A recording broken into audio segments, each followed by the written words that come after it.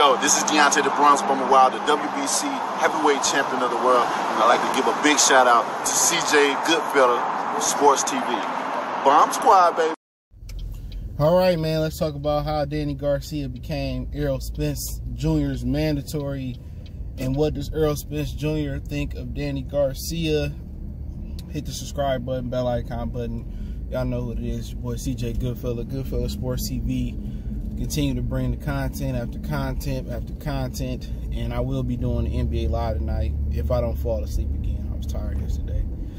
Um, but uh, yeah, puts me today that uh, Al Haymon paid for Danny Garcia to become the mandatory for Errol Spence. He sent that back allegedly over to the We Be Crooks WBC. Um, we Be Chumps. You know what I'm saying? So a lot of people wondering how is Shawn was Shawn number one contender, and Danny was number two, and Danny hadn't beat nobody but uh, Redkach and uh, who, who he beat uh, Granados, and he became the number one contender. And I'm telling y'all, the, the number one problem in boxing is the sanctioning belt bodies. They so corrupt.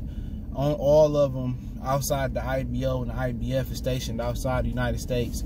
Therefore, they have no, they you know, not responsible for nothing for the most part, bare minimum things where you have isolated situations where certain fighters have sued the sanctioned belt body. So, like I said before, it's not about how good you is. When it comes to corporate America, it's about who you know.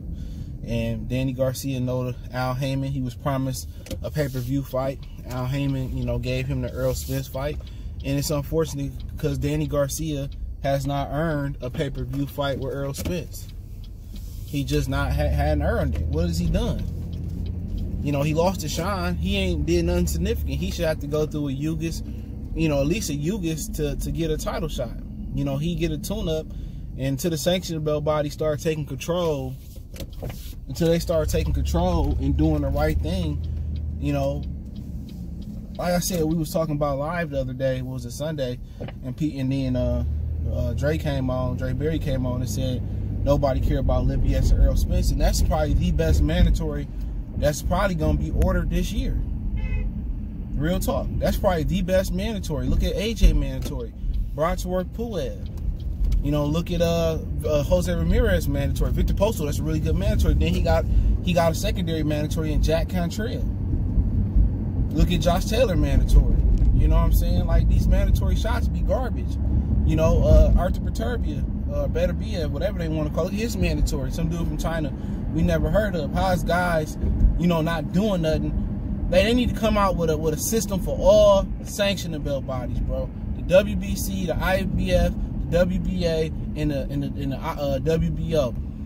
If you ain't beat three top ten opponents, or at least two top five opponents, you can't be a mandatory. You can't just beat top 20 guys and then beat a couple top 15 guys and beat a mandatory. Danny Garcia does not deserve a, a mandatory versus Errol Spence. He don't. His his resume at 147 is horseshit. And all this all because Al Haymon sent the bag over to the WBC, they make him the mandatory. And then they put it on pay-per-view like, you know, do they understand that a lot of these fights they putting on pay-per-view, they got to put on regular TV now because people ain't had a paycheck and, and, and, may not have a paycheck for two or three months. Some people. The last thing people thinking about is flying out to a fight. The last thing people think think about is paying 80 bucks for that subpar fight. And I'm gonna get to why it's a subpar fight. I don't care what none of these marks say. I'm, I'm gonna make my case. So just give me a minute. It's gonna be it's gonna be sweet. But there you go again. Al Haymon, you know, it's all about who you know and not what you know. This this is this is Al Haymon working his magic. Danny Garcia don't deserve this shot. You know what I'm saying? You can duck and duck and wait and wait and then get a title shot. How? You should have to fight and fight and fight and fight. I'm telling you, if they had one title per division, we wouldn't have this problem. You know, he could turn down a Crawford uh, shot, you know, uh, uh, and then wait and wait and wait and, and bum bash and bum bash and bum bash and get a shot at, at two titles versus Errol Spence. Nah. It shouldn't work that way. You know what I'm saying? But hey, the game is. People gonna try to big this fight up. It's not no, this is a tune-up. This is this is a glorified tune-up. And I and I stand Errol Spence mind. And the reason Errol Spence picked Danny Garcia because to come back rather than Pacquiao, because he think Danny Garcia tune up. Like I told you guys, that's facts. He think Danny Garcia is a can of tuna fish. This was given to all this information was given to me today this morning. Danny Garcia, Errol Spence believes Danny Garcia is a tune-up. That's why he coming back flying through a window. I told you guys, Manny Pacquiao was asked for him time and time again. He said no. He said no. He said no. I ain't got no reason why he ducked Manny Pacquiao for good reason. He ain't 100% healthy. And he, if you don't think you 100% healthy, what that think, what that say about Danny Garcia? He think Danny Garcia tune up. That's why he taking the Garcia fight. And he gonna be for a rude awakening because Danny Garcia locked in. A tune up is, is is like Redkach for him. You know, a tune up is like Mikey Garcia for him.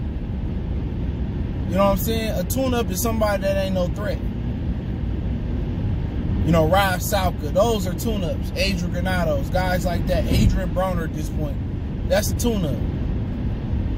And I think his arrogance is going to end up, and it's going to be a lot. If, if, if he struggle or get a gift or he lose or get knocked out, it's going to be excuse making. However you look at it. If it's Danny, if it's the Lipinets Qdoba winner uh, for the IBF interim title, if it's, uh, get my Charlo bottle. I'm unveiling the Charlo bottle again. If it's Terrence Crawford two years ago, two now, oh, it's the car, it's gonna be a built-in excuse. And the excuse before the car accident was he was drained. He another motherfucker that's drained. All the welterweights that's on PBC side, the top guys, Danny, Shawn, Keith, Errol Spence are drained. And you put them during this corona shit, bro telling you, Danny Garcia already on he already on, on point. And when you when you when you already put in your mind that a guy a tune up and he really ain't a tune up, and like most people mind, people gonna say, Oh, this ain't no tune up. This Danny Garcia, tough fighter. You put in your mind, he going to work. He's sparring southpaws. Everything I hear about people going in and out of Philly or still in Philly is he locked in. He know you lose this fight to Errol Spence, bro. You might as well hang it up. And people saying, you know, we was like, oh, there's no way Danny can beat Errol. Why not? Why not? People putting Errol Spence up there like he motherfucking Oscar De La Hoya at the division. Or he Trinidad or he Floyd at the division or some shit like that. You know, people ranking him like that. You know, no. That motherfucker got more flaws than some unauthorized Jordans, some UAs. Do you know what I'm saying? People acting like he like like unbeatable. Do you know, people just forget the Shawn Porter fight. That motherfucker arguably lost that fight. And Danny Garcia do some things well. A lot of good things well. Sharp puncher, big puncher, counter puncher. And this one people just can't get over this. He ain't healthy. And you got a motherfucker that still rolling around with rappers, still drinking, liquored up, face still not just not right.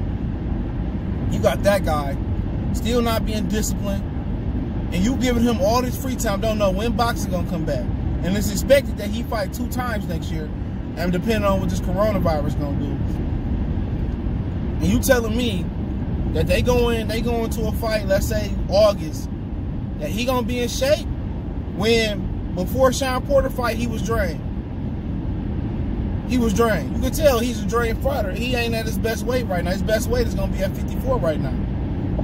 So you give him all this free time to drink and, and party and do all the shit. He dancing with other dudes. You know, if you ain't concerned about him flying through a car window, be concerned about his him being drained and him not taking the proper precautions not to be drained. Because that was always the issue.